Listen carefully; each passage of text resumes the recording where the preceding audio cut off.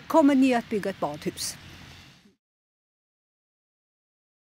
När det gäller simhall i Knivsta centrum för idrott och kultur så kommer vi inte ha någon sån där, utan det blir aktuellt i hälsohuset när det ska ersättas.